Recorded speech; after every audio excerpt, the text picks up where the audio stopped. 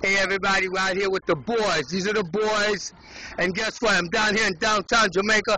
I own this motherfucker as the king of this bitch.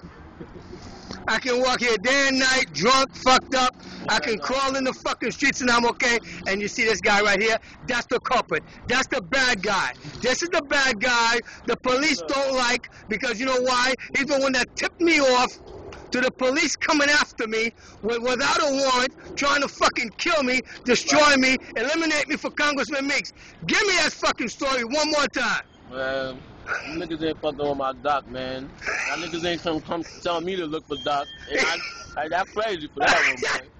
For real. Yo. Turn it up. Watch this shit too, man. Fuck all you motherfuckers, Bronx VA. I'm telling you, the shit I do out here in the hood, you can't understand that shit. What's up, bro? Let me help you here. Yo, I look. Doc, I gotta make this move. Yo, man, go ahead, man. Dude, um, I ain't got no money on me right. Look. no money. I'm good, Doc.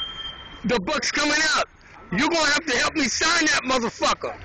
All right, brother. All right, fellas. I live this life here because that's my job. I have no other product but to take care of these people and to protect them and to do what I can to assist them. I can do anything I want here. Okay? Any fucking thing I want. Anything Dr. Philip Drice wants to fucking do, I can do in this motherfucker. What the? Yo, all my fans on YouTube, that's what a... No, turn around, baby. Let me get a shot. Come on, give me a shot. Come on now. Damn! She had that shit out there. Whoa! Yo. Out here. Ass is not free, but it's very goddamn tempting. Take a look at this shit.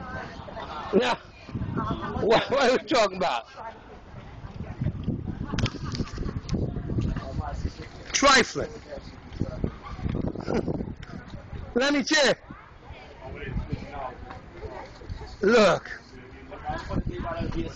It's called the liquor store. Bronx, VA. Wanna have me a few drinks. You got a problem with that? Oh, baby.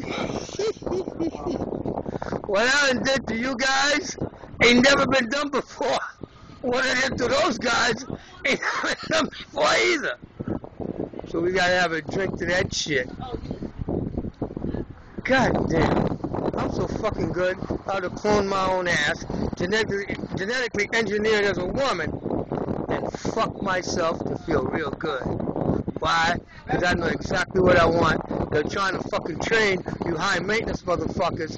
Makes a nigga want to go to a white girl and, and get a cute one that's a homely white girl with good fucking credit. Have a nice day, fans.